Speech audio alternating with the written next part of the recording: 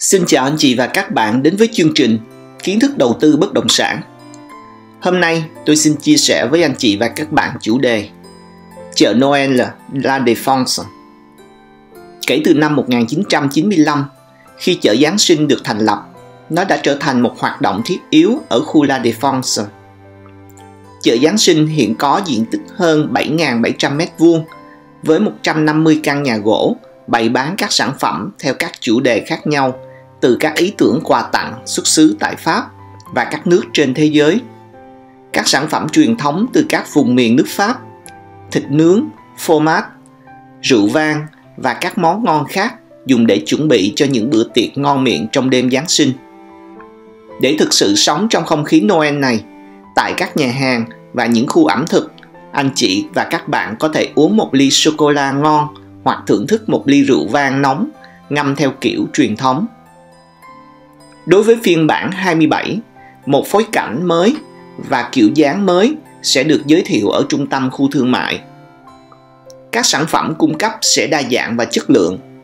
Giữa ánh sáng, đồ trang trí sẽ làm ngạc nhiên cho trẻ em và người lớn cũng như các buổi tối theo những chủ đề phong phú, đa dạng khác nhau. Khắp khu chợ Giáng sinh, các cuộc hẹn dành cho du khách dưới hình thức after work hoạt động bởi các DJ vào thứ năm và thứ sáu hàng tuần bên cạnh sự góp mặt của ông già Noel. Chợ Noel được tổ chức theo thời gian khác nhau tại mỗi thành phố Pháp, có thể kéo dài từ vài ngày đến vài tuần. Chợ Noel nổi tiếng nhất của Pháp và của châu Âu là chợ của thành phố Strasbourg, tổ chức trong cả tháng. Tại vùng Ile-de-France, chợ Noel lớn nhất được tổ chức tại khu La Défense, ngoại ô Paris.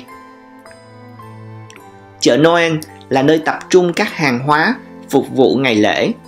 Các mặt hàng chủ yếu bày bán ở chợ là thực phẩm truyền thống như xúc xích, phô mai, bánh kẹo, nến, các vật dụng trang trí cho ngày Giáng sinh.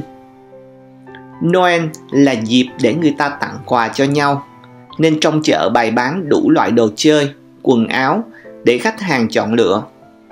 Ngoài ra, trong chợ lúc nào cũng có một góc bán thông, loại cây tượng trưng cho đêm Giáng sinh. Ngoài việc trang trí ngôi nhà của mình bằng những đồ vật thủ công, anh chị và các bạn có thể khám phá ra những ý tưởng quà tặng độc đáo để đặt dưới gốc cây, các sản phẩm địa phương, đồ ngọt, bánh gừng, tất cả trong một bầu không khí kỳ diệu. Đây là một chương trình lễ hội xuất sắc Điều làm nên sự thành công của chợ Giáng sinh Paris La Défense chính là bầu không khí huyền diệu được tạo ra ở đó với hàng nghìn ánh đèn và đồ trang trí. Anh chị và các bạn sẽ được chọn lựa tham gia nhiều hoạt động, lắng nghe những bài hát mừng Giáng sinh và tìm thấy nhiều nguồn cảm hứng để chuẩn bị cho lễ kỷ niệm cuối năm. Cơ hội khám phá một góc nhìn khác của khu La Défense Ngoài sự tiếp nối của các tòa tháp cao vút và các trung tâm mua sắm, đây là một khu vực có các hoạt động đa dạng, phong phú như các cuộc triển lãm, lễ hội, hoạt động, hội thảo trong suốt năm ngoài sự kiện đánh dấu lễ hội Noel và Tết Dương lịch vào dịp cuối năm này. Khu chợ độc đáo này sẽ khiến chúng ta quên cả thời gian và đắm chìm trong không khí lễ hội. Nhiều hoạt động nằm trong chương trình xuyên suốt tháng này Hãy tận hưởng không khí Giáng sinh đến cùng với gia đình hoặc bạn bè khi màn đêm buông xuống. Những cây thông lấp lánh hàng ngàn ánh đèn len lỏi qua các lối đi.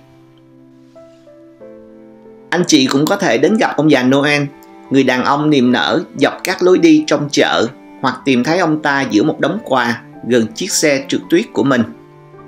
Và đừng quên lưu lại ký ức không thể phai mờ này bằng một bức ảnh. Đây cũng là lúc chúng ta thay những chiếc áo len cũ kỹ của mình bằng một chiếc áo len Giáng sinh mới, sang trọng và tươi tắn, cần thiết.